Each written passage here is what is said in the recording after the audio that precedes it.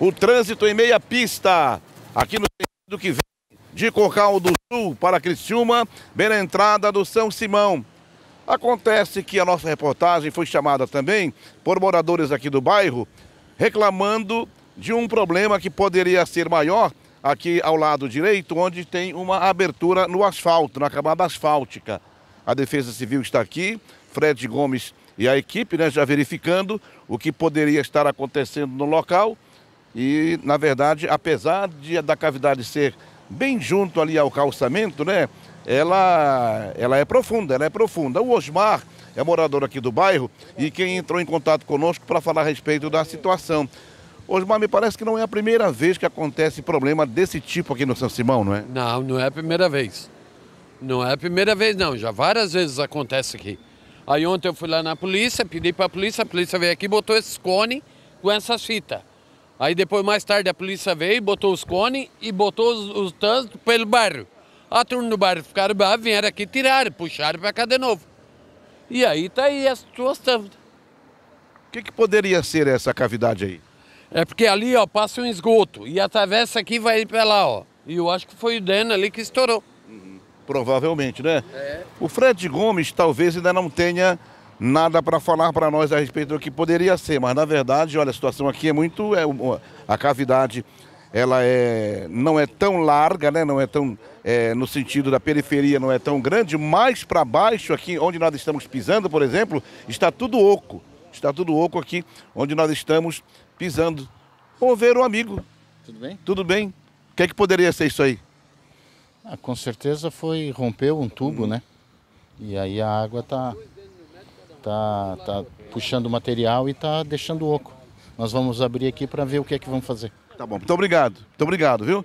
Muito obrigado. Deixa eu falar com o Fred Gomes, que está aqui ao telefone, mas conversa conosco. Então, no momento em que a gente grava a reportagem, Fred nos dizia que ficou sabendo ontem à noite, estiveram aqui, mas como era muito escuro, não tinha como é, ter mais ou menos noção do que estaria acontecendo. Mas a informação do Osmar é que provavelmente o dreno de baixo rompeu, né?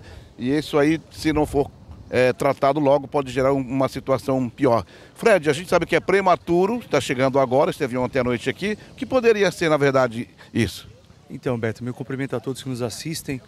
É, provavelmente, Beto, pelo que a gente fez nessa análise preliminar aqui, seja um problema de drenagem.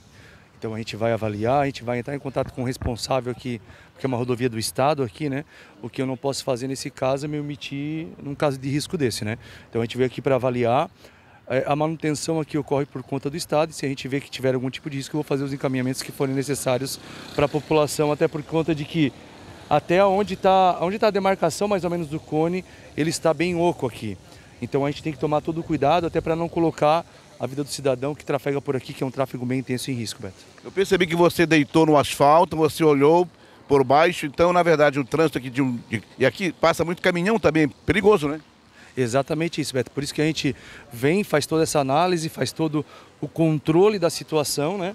E a gente agora já faz, eu já estava aqui no telefone, como você bem falou, tentando falar com o responsável aqui pela rodovia, que é o Taufenbach, já para trocar uma ideia com ele para ver como que vai proceder essa manutenção. Muito obrigado. Sempre prestativo para atender a reportagem do Linha Verdade. SC 108 como referência em frente ao Santa Clara, que é o residencial, na entrada para o bairro São Simão. Parte do dreno rompeu, está perigoso, porque até onde está o, o cone aqui no, no meio da pista, até aqui na parte de baixo está tudo oco e o trânsito de, de caminhão, carga pesada aqui está realmente muito perigoso. A gente continua acompanhando a situação e vamos trazer para você, provavelmente no Linha Verdade de amanhã, já a solução desse problema.